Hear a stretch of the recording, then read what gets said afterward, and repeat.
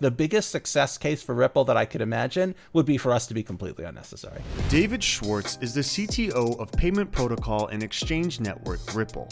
In December 2020, the SEC filed a lawsuit against Ripple. The lawsuit alleges Ripple raised $1.3 billion by selling XRP in ongoing unregistered securities offerings. This is not Ripple's first run in with US regulators.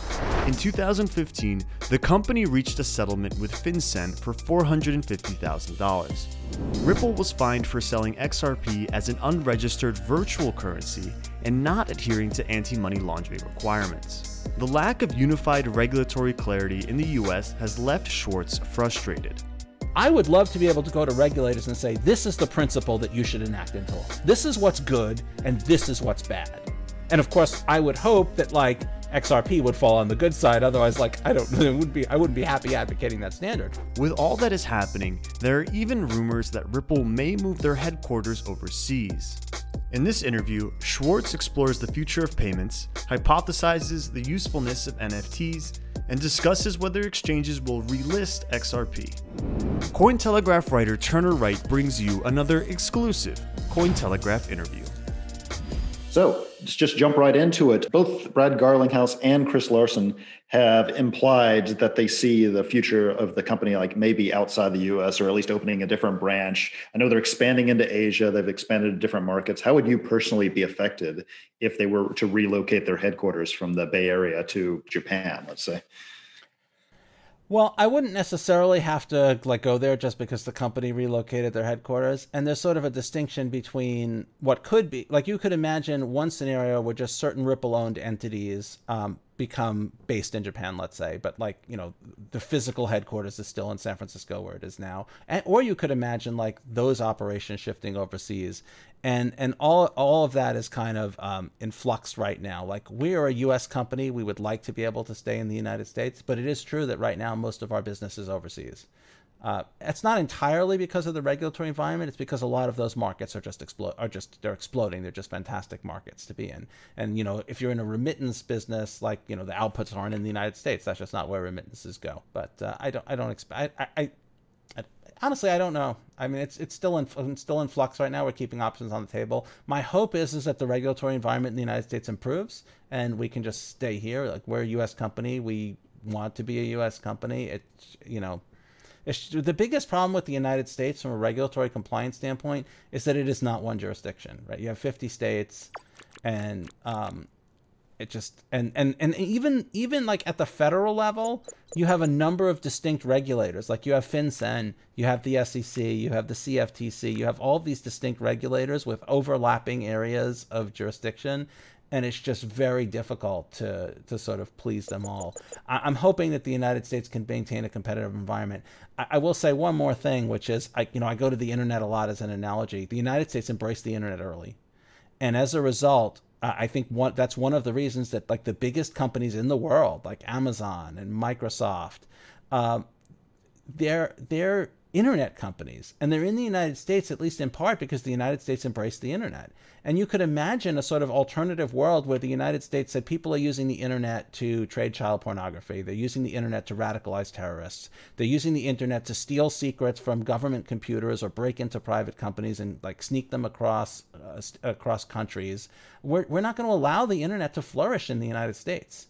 And at some point, the United States would have faced a take it or leave it choice. And I don't think those companies would have been, I don't think Google would have been a US company in that world. And I also don't think that the internet would reflect American values the way it does. I don't think people realize it. Like early proposals for the internet included things like mandatory tracking of where all information comes from and goes to and those were rejected by people who share uh, you know liberal values or values about things like freedom of speech and openness and we got an internet that's very open because of that and countries um, are forced to accept it because what are you going to do? You going to build your own internet and be cut off from the world? Like, you could imagine a scenario where the United States chokes off this development from the United States and faces that kind of take it or leave it situation in a, in a world where those systems don't reflect, um, you know, the values that we have and don't contribute to our economy. So I think there's an opportunity here, and I think regulators need need to do something about it.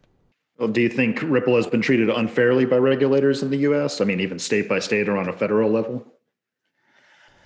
Uh, well, I, I, I mean, I there are uh, there I don't I don't want to. Unfortunately, right now, as you I'm sure you know, there's SEC litigation pending, so it's difficult for me to com- for me to comment on this. But I, I will say one thing that I've heard from people that I've spoken to. Like I speak to a lot of people in the industry who want to build things on the XRP ledger and on other platforms, and I constantly hear them saying that they don't want to build in the United States, and it's not because the laws are bad that's not the reason. It's not like this law is bad and it needs to be changed. The problem is it's very difficult to figure out which laws apply and how they apply to something new.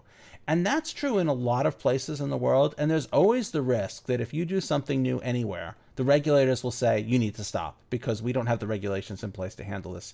And to be fair, like there are legitimate threats. The ICO craze, there were a lot of scams, and regulators were not prepared to handle it. And it makes sense for them to say like this needs to stop until we can figure out how to protect consumers from from, from being harmed. You know, that makes a lot of sense. But one thing that I think is unique to the United States, well, two things. One of them are these weird overlapping regimes where it's a currency in some situations and maybe it's a security in some situations and maybe it's neither or both and so the CFTC is going to say well we're going to regulate the exchanges but the SEC says we're going to regulate issuers and like there's this mess of what is it and who's regulating it. Like that you generally don't see. Generally in other countries there's some entity that's like that that like makes the rules and at least you know that you're talking to the right party. Like Ripple worked out a settlement with FinCEN were we talking to the right regulator then? Like now it looks like maybe we weren't talking to the right regulator, right? And like fin- FinCEN, you know, described it as a digital currency and you know, and so on. Um, and the other one is that the United States is one of the few countries where there's this very palpable risk that the regulators will turn to you and say, that thing that you were doing for five years in public in complete light of day, well, you should have known it was illegal all along. That that generally speaking doesn't happen in other countries. Uh, there at least from at least from people i've spoken to they don't have that kind of fear that that will happen.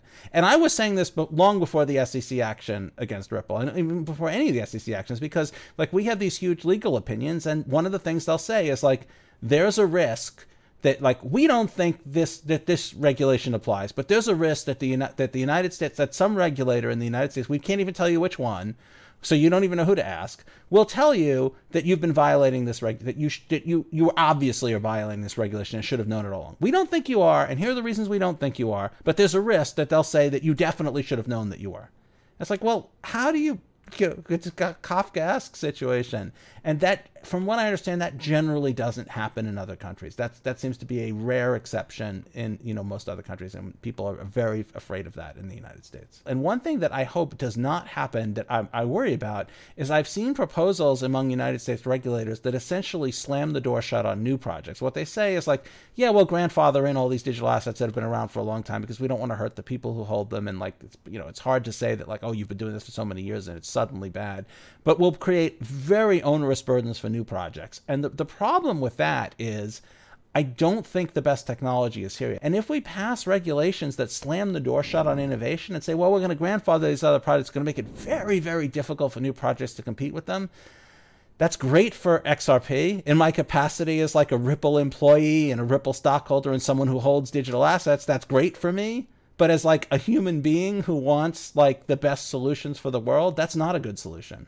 like the best solution creates a level playing field that doesn't benefit that doesn't overly preference the past. Like the thing that i found great about bitcoin is that i didn't have to use the systems that like enrich the incumbents and i could build something new.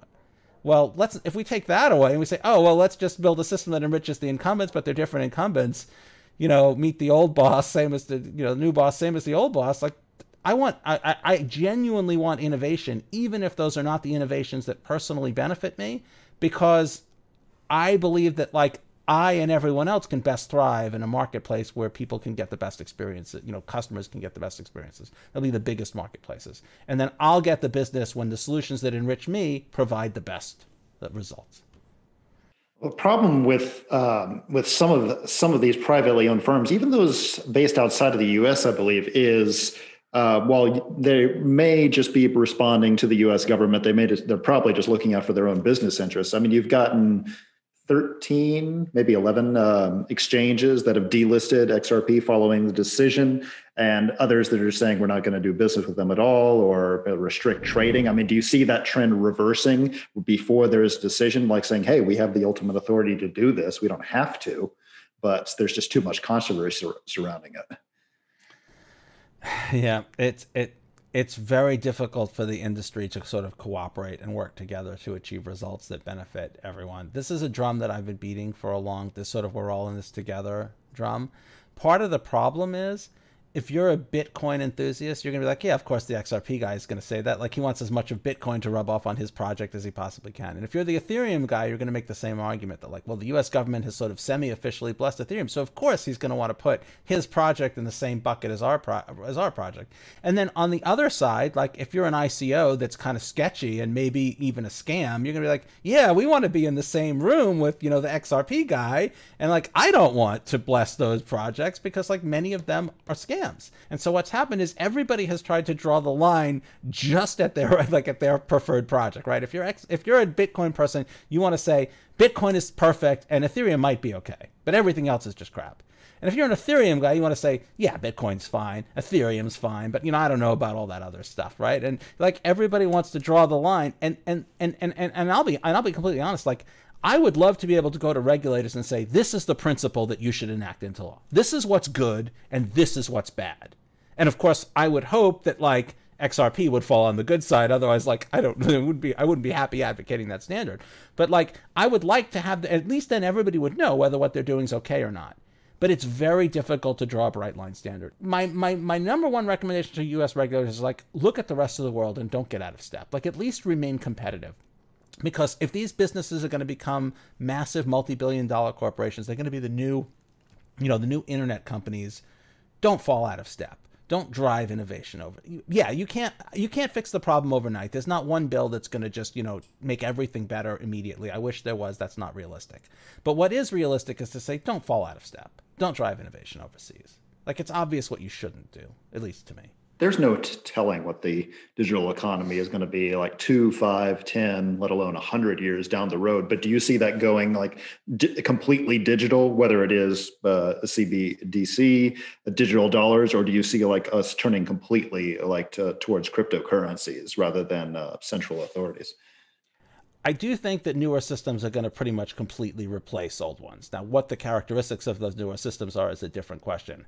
Uh, we have payment systems today that date back to the days where the bank's computers had giant reels of magnetic tape and you couldn't communicate with other banks during the day because the reels were on the computer that that bank was using and someone had to carry them across the room or across the hall to the computer that communicated with the other banks. Like we still have standards to this day that are based on operating in that day. That's one of the reasons why when you make a payment at a bank they don't know the path the payment is going to take typically.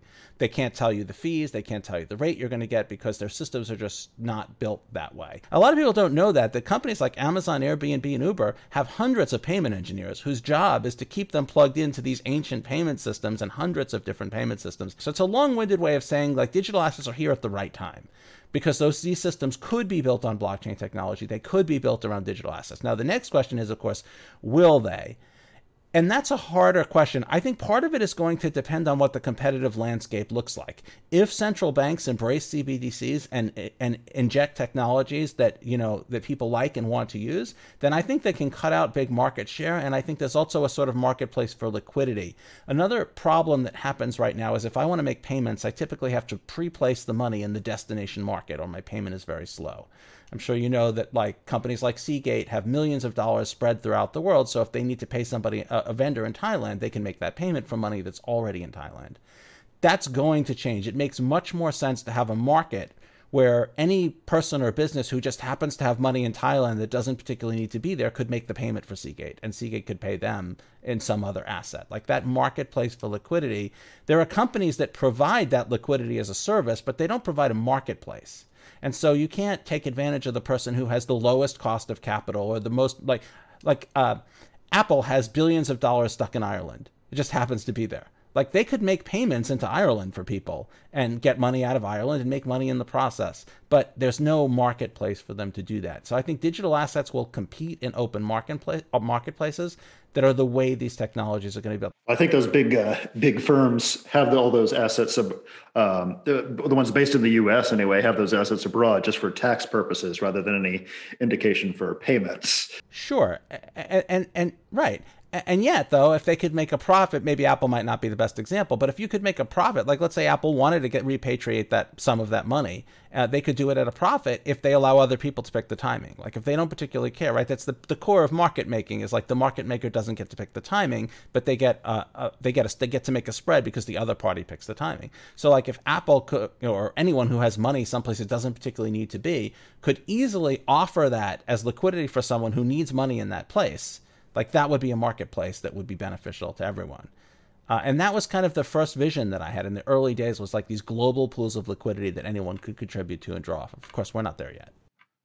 Yeah, so you see you see more of the future as people going to um, a pop for lack of better words popular payment provider or at least ones that has the means and ability to do to do so rather than establishing their own systems even as the technology may become easy to understand may become that we may get rather than old school firms like looking for their own uh, looking to just develop their own pay, uh, payment systems rather than ones that are starting off the ground uh, to develop their own. You see um, you you still see them going to like a central firm like ripple so what I'm saying is that I think things like liquidity will be commoditized and sort of input and output endpoints will be commoditized. So if you think about a company, like imagine you're a large remittance company, you might have 5,000 places where people in the United States can hand cash over the counter. But I can't use those unless you also have the cross currency capability and you have cash out or some payment in the place I'm making the remittance. You have to be able to provide all three pieces because that's not commoditized. So essentially, if a company that had 5,000 cash in locations in the United States offered that as a piece in a marketplace, then you could go to any provider that hooked you up to that market. It's like a stock market, right? You can go to any broker and you get access to the same stock market. But there's features, there's distinguishing features between brokers, and it's nice that they compete with each other because that gives you better access to that sort of common resource. So I think I see that kind of two layer approach where there are these commoditized components that everybody has access to, and then there'll be service providers who will be providing people access. But I will say one other thing, which is I think like the biggest success case for Ripple that I could imagine would be for us to be completely unnecessary. Like if Ripple didn't need to do anything and everybody could just use the assets that work best for them without, you know, already because that technology existed, we're building technologies not so much because we want to build them, but because they're necessary for our success case. Most of what we're doing is creating markets.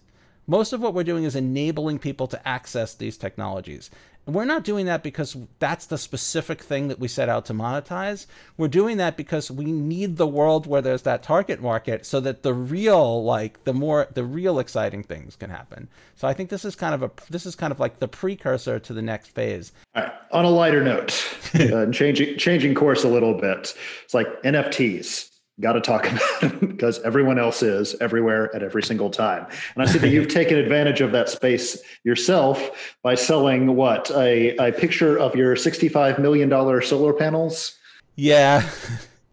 Uh, yeah, some ridiculous amount. So I'll, I'll, share the story on that, and then I'll tell you more about how I feel about NFTs. So the story on that was um, I had a bunch of Ethereum that I bought at the very very first opportunity. You know, I knew Vitalik. We had we had we had discussed some of the ideas behind Ethereum, you know, and I knew that he was a very brilliant person and I was excited to like buy into Ethereum at the earliest opportunity and I did. And um, I think I paid something like, you know, 25 cents per unit per ETH. Um, and then 3 years later, ETH hit a dollar. And I sold all 40,000 ETH to put solar panels on my house. And I thought I was an investment genius. I mean, a dollar for a 20, you know, couple cent investment. And the other thing that was like, it was bouncing between 80 cents and a dollar. And so I figured the next time it hits a dollar, I'll sell. And the next time it hits 80 cents, maybe I'll buy back. Well, it didn't hit 80 cents again. And you can do the math. That would be worth about 40 million. So I, I, um, I sold as an NFT a drone photo of those solar panels. You know, they're a part of, you know, cryptocurrency lore, I guess, and it sold for two hundred and fifty dollars, which I thought was you know kind of cool. Uh, and but the reason I did it wasn't because you know I wanted two hundred fifty dollars, although you know I'm not going to complain.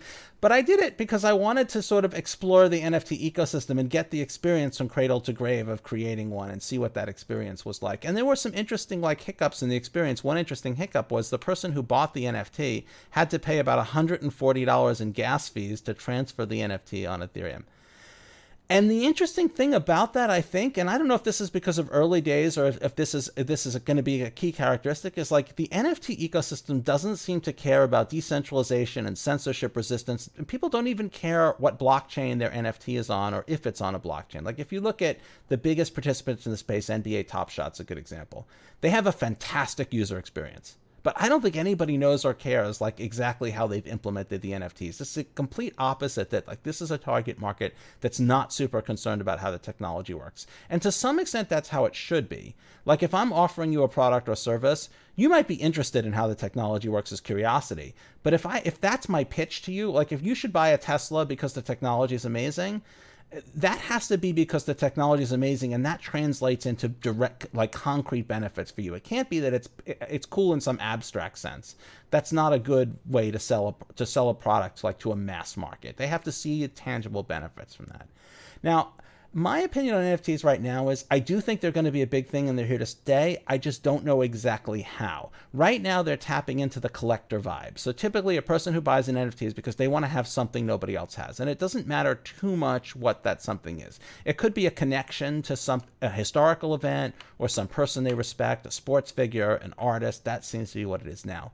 But I will say, I do think that there are huge practical problems that NFTs could potentially in the future solve. And I'll give you my favorite example. I've bought movies like on my cable service, and I bought movies on Netflix, and I bought movies on Amazon Prime, and I bought music on Spotify, and I bought games on Steam.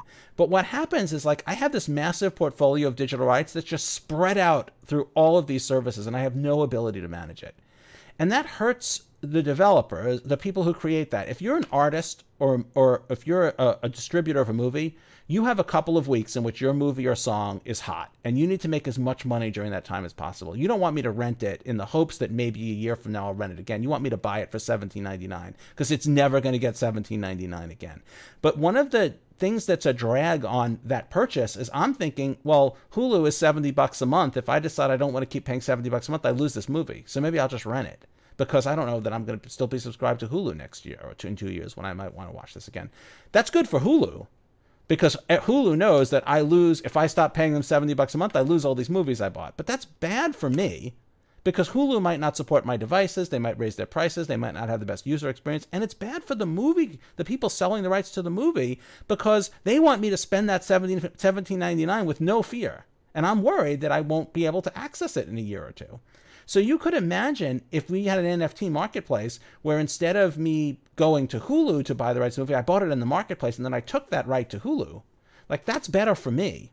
That's better for the person selling the rights. And it might even be better for Hulu because Hulu will get the customers who get the best experience on Hulu. And if Hulu can attract new customers who can then take their existing, like it makes the marketplace more competitive. That same commoditization I was talking about before, it commoditizes the reach and gives the customer the ability to pick the service that's best for them. So I think you could see NFTs like solving real problems maybe in the future. So I'm, I'm optimistic that like it's a new technology, it's early days, it's having trouble finding product market fit. It has found a few spectacular ones, but I do think that there is something there.